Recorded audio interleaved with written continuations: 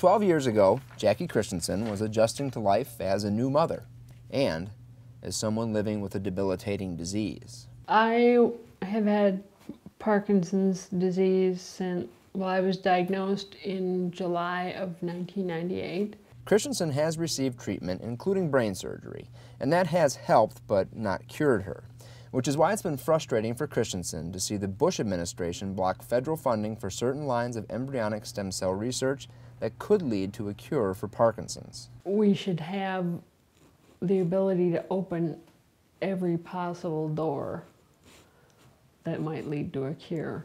President Barack Obama is removing those restrictions, clearing the way for scientists to study embryonic stem cells with federal dollars which is great news for patients and the doctors who treat them. Particularly in Minnesota, we think about this because we have the oldest stem cell institute in the world. Jonathan Slack is the University of Minnesota Stem Cell Institute director and says researchers at the U of M have already made significant progress toward cures using stem cells.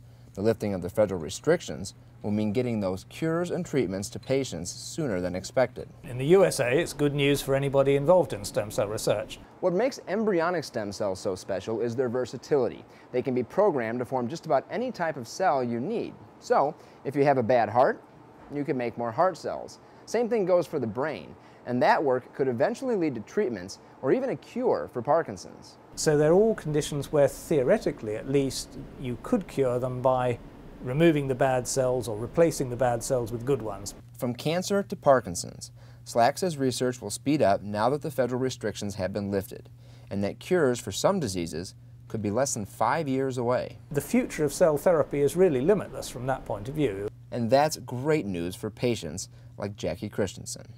For the University of Minnesota, I'm Justin Ware.